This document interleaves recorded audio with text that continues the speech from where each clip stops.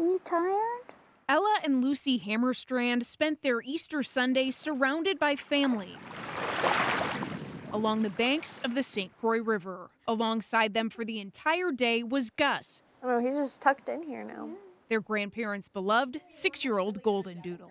He's very friendly and he's very smart and he's very loving. They were outside helping with some chores when Gus jumped in the water, swimming out about 50 feet.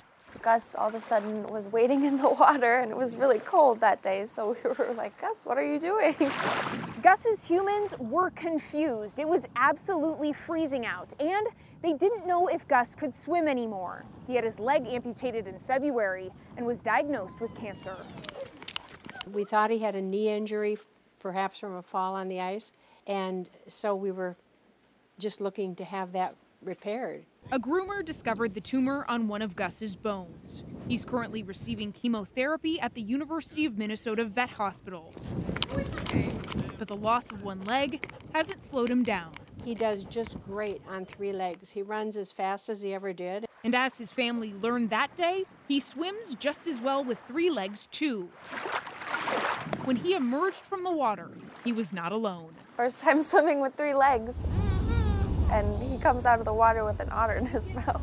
I held him for a little bit while they tried to find the mom, but we couldn't. They wrapped up the pup and rushed to the Wildlife Rehabilitation Center in Roseville. He was so cute, and his eyes weren't even open yet. WRC staff estimates the pup is right around a week old, far too young to be swimming alone. Otter pups typically stay with their moms for the entire first year of their lives. The baby otter has since been transferred to another rehab facility with the specific pools needed to raise a pup. As for Gus, he's been enjoying a lot of pets and a lot of bones.